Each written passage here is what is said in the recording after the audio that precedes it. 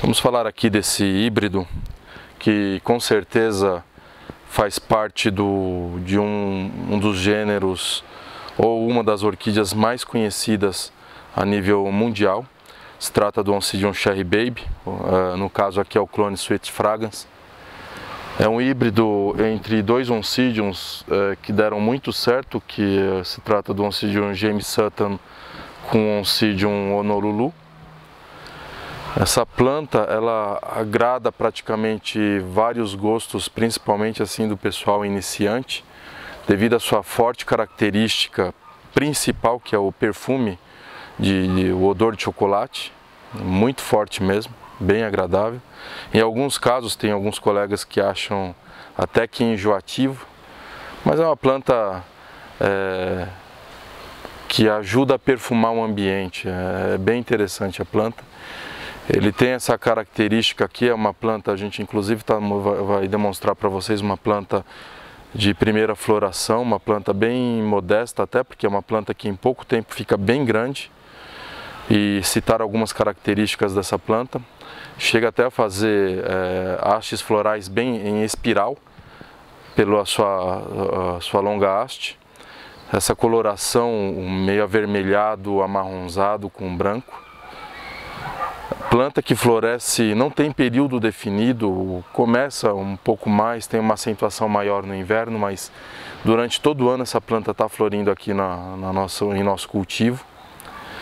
Planta de meia sombra por volta de 60%, um clima mais fresco, não gosta de calor, onde a gente vai citar também, vai demonstrar para vocês uns problemas que infelizmente surgem é, em diversas orquídeas e ele se ressalta principalmente no Cherry Baby. É, como substrato vocês podem fazer o uso de Sphagnum com uma mistura de casca de pinos. Ele gosta de uma relativa umidade no substrato, ele não gosta de ficar estorricado. Plantas com aproximadamente aí uns 4 centímetros de diâmetro. Vocês podem ver aqui tem bastante flor.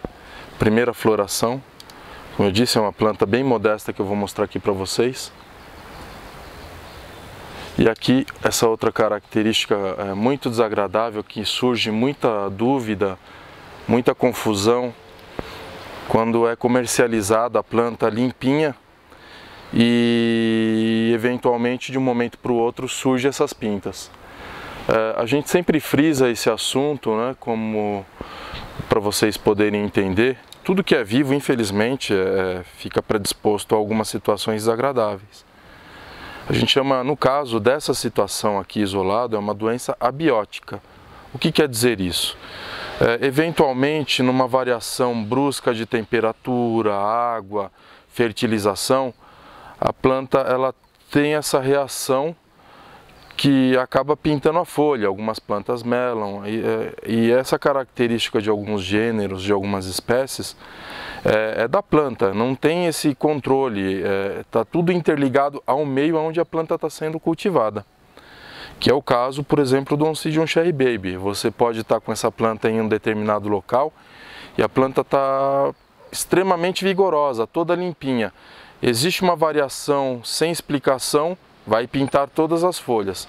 A planta ela vai continuar se desenvolvendo normalmente e você vai ter a planta é, de repente em um daí para frente no seu desenvolvimento ela volte a ficar na, na, na parte nova da planta limpinha. Então assim é, não é que a planta uh, vai você vai perder a planta.